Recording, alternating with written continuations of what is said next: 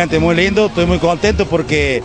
eh, la gente que hay mucha gente y toda gente de San Pedro y es para ellos, esta fiesta es exclusivamente para ellos. Por supuesto se cobra una entrada accesible, que vos bien lo sabes, que es para poder pagar a toda esta gente, estas comparsas, cinco comparsas que he venido. Así que estoy muy contento de que la gente esté acá y que esté contento, vos lo ves. eh, la noche- aparte lo hizo la noche espectacular, gracias a Dios. Tuve miedo porque vino tormenta la tarde, tenía miedo, digo lo que falta que se le haya a ver, pero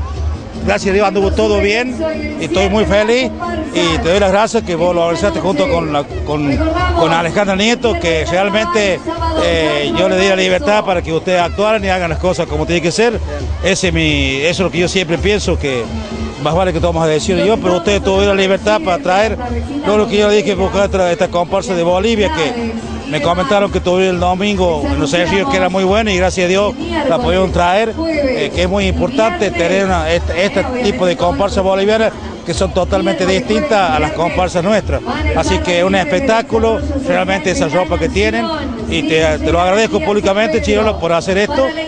Y bueno, el 4 haremos el, el, entierro de carnaval y Dios quiera que salga todo bien, igual que ahora que no tengamos lluvia, no tengamos problemas. Y le agradezco a la gente de San Pedro por haber venido, que esto es para la familia y para la gente, para que vengan a, a pasar una noche hermosa y linda.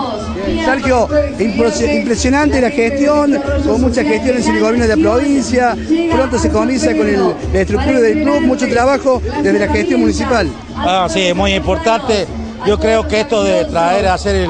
todo el tinglado del club, no solamente para, para Mario Brito, le tocó estar a Mario Brito, como puede haber sido cualquier presidente que hubiera estado de turno, pero realmente compramos todo ya,